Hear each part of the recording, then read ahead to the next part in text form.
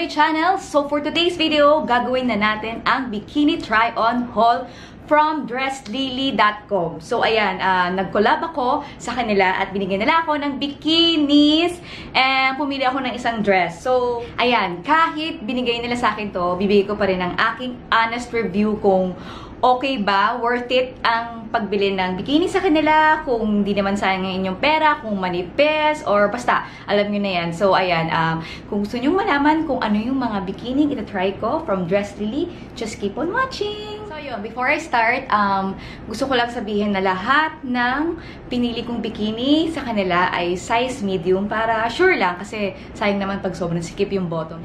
Usually kasi, ang prefer ko na top, na top, bikini top, small, tapos sa bottom naman medium. Pero hindi ko na-try tanungin sa kanila kung pwede yon So, lahat na lang medium. And, ayun, nung una ko silang binuksan, akala ko maluwag sa akin. Pero nung trinay ko na siya, okay pala siya. Mas uh, happy ako dahil pinili ko yung medium para mas mas comfortable. ba diba? Dapat naman talaga pag nakabikini ka, dapat comfortable. Ayan, ipakita nyo rin sa mga girlfriends nyo, kung kanino man, sa mga friends nyo na girls, yung mga designs para pag may nagustuhan sila, yun, bilhin nyo. Kasi ito, pinili ko mga bikinis, yung mga sale nila. Kasi usually nag-range yung mga bikini nila, mga $20, pero pinili ko yung mga $8, $7. So, di ba, ayun. So, at least sa try ko yung mga sale nila, baka hindi, hindi, hindi same ng quality ng mga $20. So, ayun, nakita ko naman na super okay nila, pero syempre iba pa rin pag sinukat. So, ayun, umpisa na natin. Matutulog na po tayo, guys, ngayon. Hindi, ayun, ah. Wala, ito na rin nakita ko sa kwarto eh. So, ito muna yung susutin ko. So, ang first bikini natin, size medium, Again, medium na ako. Tinanggap ko na guys, hindi na ako small. Uh, medium na ako. Ang vital statistics ko pala, 34, C, 24 and a half. Kasi tumaba na ako. Sige, 25 na nga and 34. So, ayan. Ang ating first bikini, ganyan siya. So, para siyang cage-cage. Parang cage yung design niya. Itong kulay niya, cream. Tapos parang may mga guhit-guhit siya. So, ayan yung bottom niya. Maganda na. Uh, pinihin ako sa bikini, dapat doble yung tela niya. Para hindi ka makikitaan. Pero usually ito namang black, okay lang. Kasi black naman siya. So, hindi makikitaan. So, ayan siya.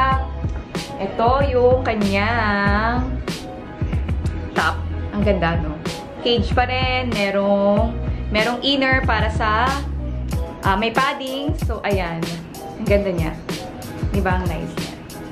Ayan. Typical na bikini yung pagsuot niya yung tali sa likod. So, ayan. Makapal yung talian niya sa likod. So, bongga.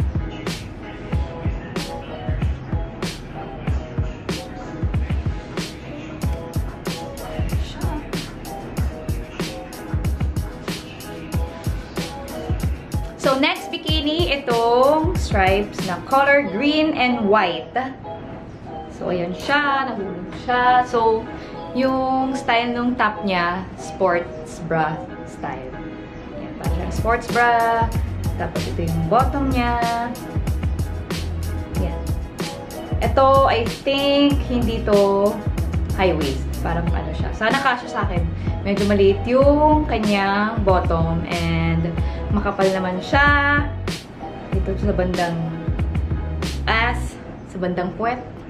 Tapos sa harap, doble din siya. So, okay siya. Kasi para mas importante patakpan yung sa harap. And dito, doble din siya. May padding. So, okay siya. So, ayan. Try na natin siya, guys!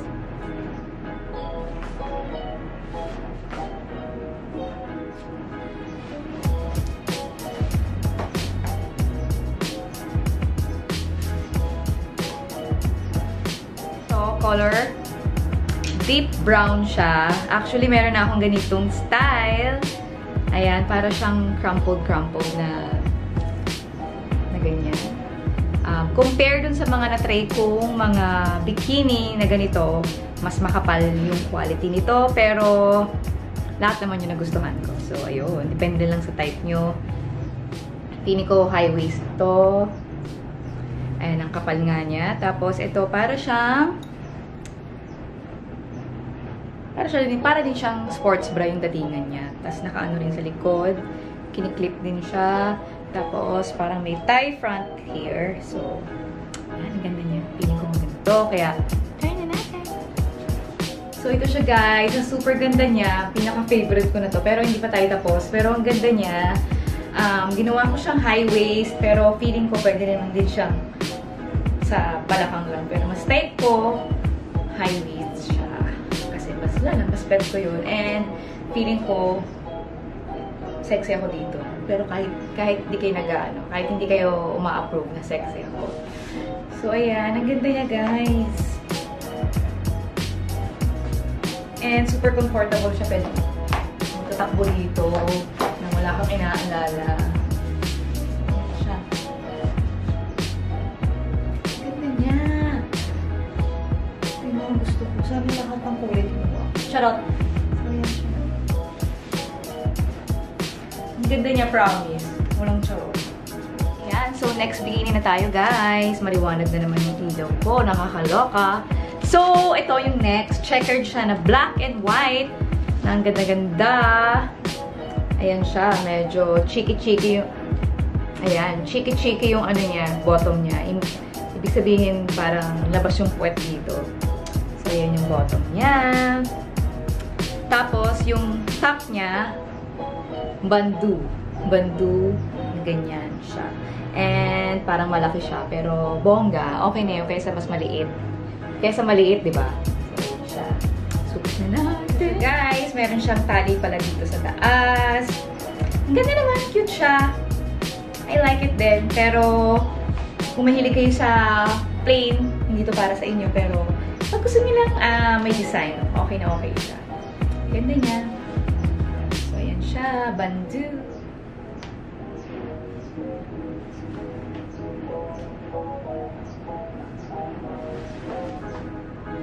Ayan guys. Commercial muna tayo. Medyo pagod na ako ah.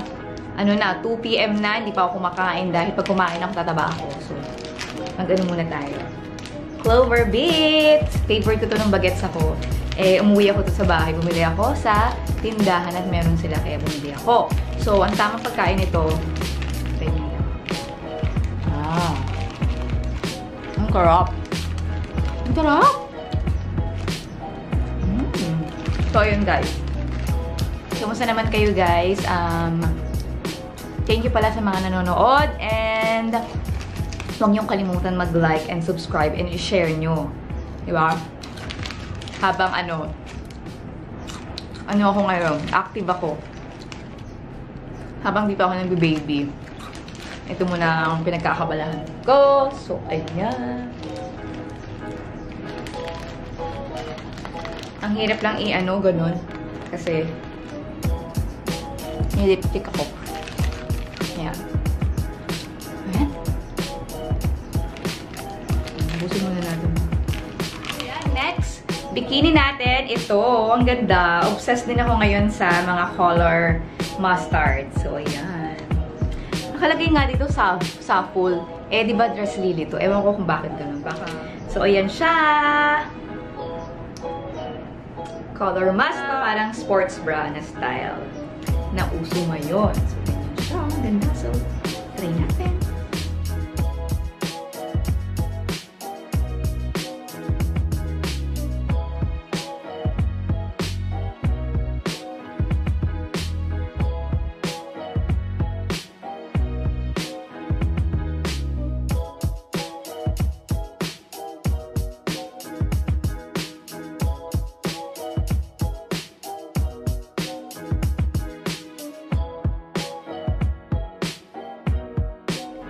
Bibipig yung kulay nga. Hindi ko alam kung totoo yung kulay na pinapakita ng aking camera. Pero yan, may bibig siya na bandu. May padding. Yeah, secure naman yung dede dyan. Tapos ito siya. Ito yung bottom niya. So, yan siya. Doble din siya. So, okay to. Okay yung quality niya. So, try natin. So, ito na siya, guys. Medyo, ang ganda ng kulay niya. Nakaka-girl. Kaya lang medyo naglalaban ng kanyang bandu top. Baka hindi ako payagan ni Sweetie na suotin ko to. Siguro pag kami na lang. Pwede siyang gawing high waist. Pero gawin, At the same time, pwede din naman siyang gawin talaga low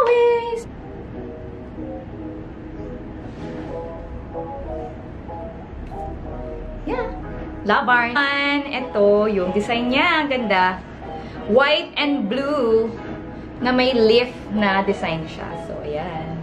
Tapos yung style nung top niya, parang sports bra again. So, siya. Ganyan sa likod niya. Tapos yung bottom niya. Ganda ng bikini actually sa ano, sa Dress Lily. Bumili na ako sa kanila before, hindi nila ako pinadalhan. Kasi mahilig ako dati bumili ng mga clothes sa China. Eh, feeling ko China or hindi ko alam saan galing. So, ganyan siya. Ayan. Ang ganda. Ang sexy nito. So, parang meron siya. Crotch ba tawag dito? Parang, parang may... Basta parang may ganyan siya. So, yan siya guys. Ang ganda rin nito. Medyo maluwag lang yung kanyang top. Ayan na medyo loose. Pero pwede itong pasikipan.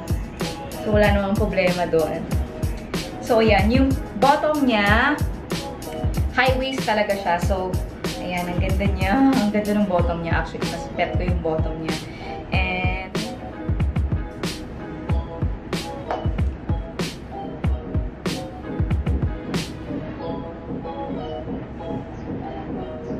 Last na. So, nalungkot ako. Um, super happy ako sa mga sinukat ko. Siguro, parang isa lang yung medyo hindi ako sobrang happy. Pero lahat super, pero lahat na gusto ko, promise, walang charot. Yung ano lang, yung green, yung green na, green and white na, um, ano to? Stripes parang hindi ko masyadong bet yung bottom niya. Pero kung maluwag yon kung mas, mag, mas malaki yung size niya, baka perfect na. So, itong ganda niya. So, ito na yung last niya. And ito yung pinaka-last. Ano ba tawag sa ganitong bikini? Monokini ba? So, para siyang one piece na may one piece. Tapos, may cut out siya dito. Labas yung labas yung dito nyo. So, sexy din siya. So, pwede, pwede ito pang party. City, no? Pag, pag para wala kayong pakialam sa chan nyo, pwede ito. So, maganda to. Bongga to. Buti pinili ko to. Ay! Buti, pinili ko to. Ang ganda niya. Para meron akong option na ganito.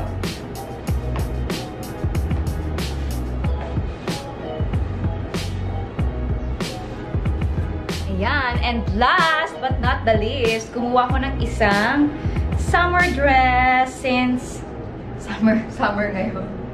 So, ayan. Maganda yung tela niya. Bagay sa weather natin kasi ano siya, basta presko yung tela niya, guys. So, ayan. Ang ganda niya. Pag meron kayong date, syempre, hindi naman pwedeng makipag-date na naka-bikini, di ba, sweetie? Hindi naman, sweetie.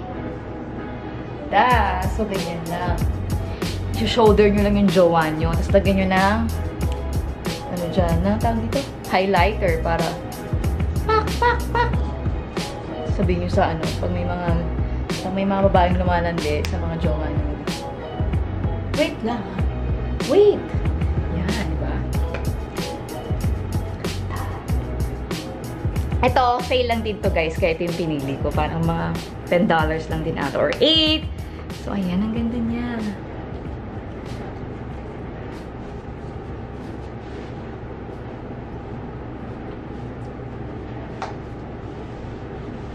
So, yun guys! Nasukat na natin lahat ng nakuha natin sa Dress Lily and I can say lahat okay sa akin. So, worth it ang pagbili pag bumili kayo sa Dress Lily dahil okay ang kanilang quality. So, lahat ng mga trinay ko na bikini and itong dress, lalagay ko yung link pag gusto nyong makuha din yun. So, ang ang ang tip ko lang, lagi silang may sale and gamitin nyo yung code and I think binigyan nila ako ng code pero wala akong makukuha doon guys. So gamitin nyo yun para additional parang 20, 20% din yata. Basta ang piliin nyo yung mga sale kasi same lang naman yun eh. Ewan ko baka marketing strategy lang nila yon Pero ayun, so far naman, yung mga pinili ko, puro sale and lahat okay sa akin. So, ayun.